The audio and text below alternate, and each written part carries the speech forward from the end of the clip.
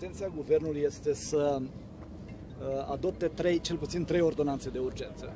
Prima care să vizeze uh, reducerea cheltuielilor, a doua ordonanță care uh, să vizeze uh, ajustarea veniturilor, și aici să revin la uh, cea de-a doua, și a treia ordonanță, dacă reușim să ne încadrăm până la sfârșitul lunii august, ordonanța care să vină cu rectificarea bugetară Corect.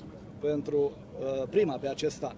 Eu am cerut 16 miliarde. A Am crezut, aflat. domnul Boloș a, a crezut că face infart. Am când i-am aflat. spus cât. Deci, uh, de aceea durează puțin mai mult decât uh, ne-am fi dorit, pentru că vrem să venim cu o proiecție foarte clară până la sfârșitul anului și, evident, să pregătim anul 2024.